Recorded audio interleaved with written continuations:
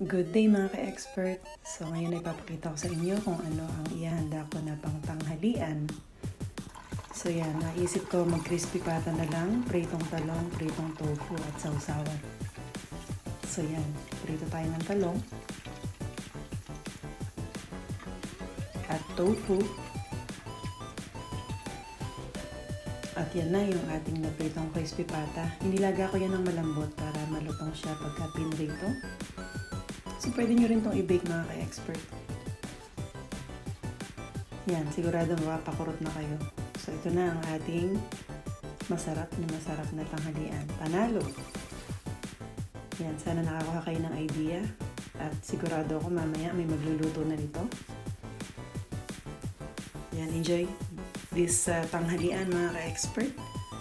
At maraming salamat. So, yan yung ating dipping sauce. So, pwede rin kayong gumamit ng Mang Tomas. Yan, enjoy and happy cooking!